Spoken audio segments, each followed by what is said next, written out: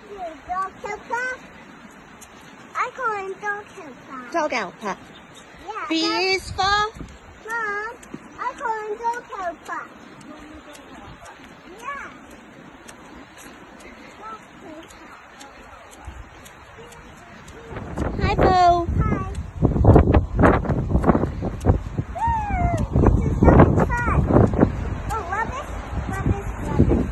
Look at this idea of Bo's. She said, Nanny, can I put the doggy on my scooter so he can pull me?